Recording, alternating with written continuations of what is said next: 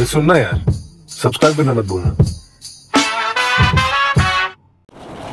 इस वीडियो में देखिए, मेरे जमालपुर से पटना की यात्रा के दौरान ली गई बाढ़ की कुछ खतरनाक दृश्य।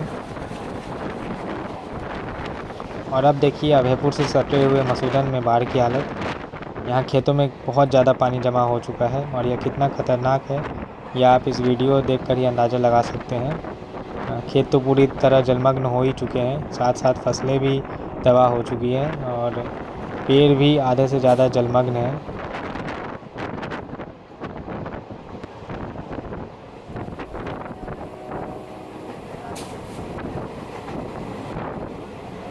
और अगर आप इस रूट में ट्रेन से ट्रैवल करते हैं तो आपको धरारा से कजरा तक हर एक साल लगभग यही हालात दिख जाएँगे। गंगा नदी से सटे हुए होने के कारण यह इलाका लगभग हर एक साल इसी तरह जलमग्न हो जाता है। साथ ही बारिश का पानी नहीं निकलने के कारण स्थिति और भी ज़्यादा खतरनाक हो जाती है।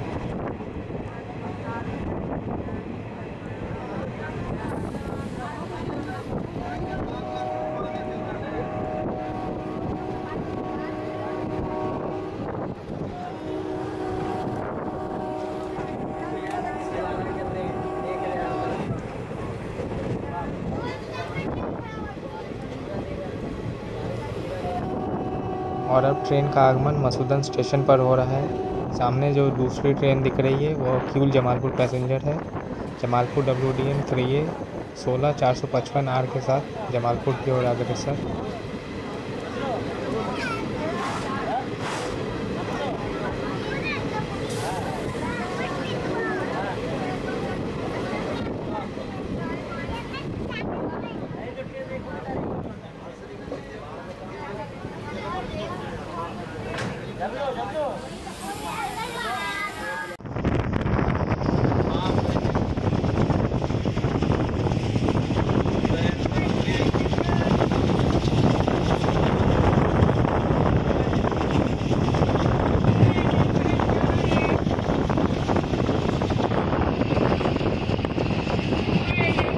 और यह है क्यूल के पहले एक छोटे से हॉल्ट के बगल की स्थिति।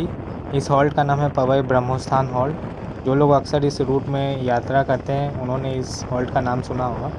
तो यहाँ पे भी देखिए कितना ज़्यादा पानी जमा हो चुका है और अपोजिट साइड तो घर काफ़ी पानी में डूब चुके हैं। स्थिति यहाँ भी काफ़ी भयानक है।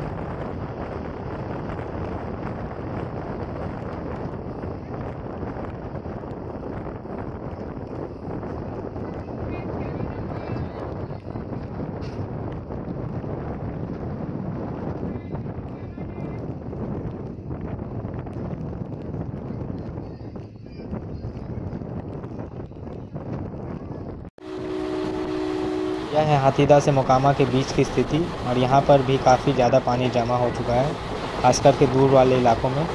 आपको उतना अच्छा से पता नहीं चल पा रहा होगा, लेकिन मैं यहाँ से देख पा रहा हूँ कि उधर बहुत ज़्यादा पानी जमा है। उधर इनफैक्ट सिर्फ़ खेत ही खेत हैं और वो अब एक विशाल समुद्र की तरह प्रतीत हो रहे हैं।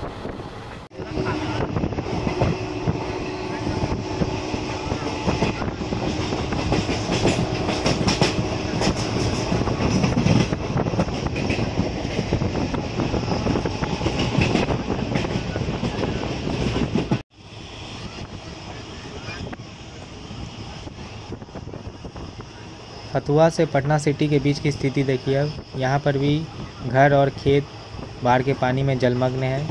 पेड़ भी बाढ़ के पानी में डूबे हुए हैं और सड़क पर भी काफ़ी ज़्यादा पानी आ चुका है।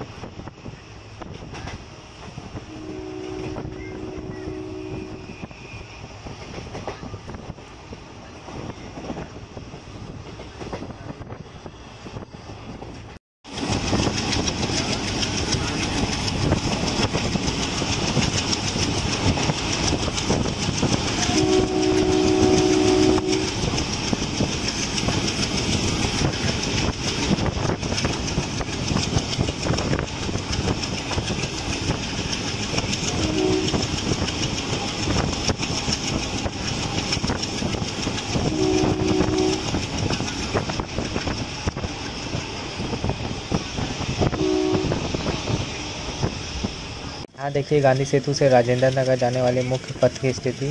यहाँ जमा हुआ पानी तो पटना के बाकी इलाकों के मुकाबले कुछ भी नहीं है। मैंने कुछ और भी वीडियोस बनाए हैं बाढ़ से रिलेटेड। आप उन्हें भी देखें और अपना ख्याल अवश्य रखें। धन्यवाद।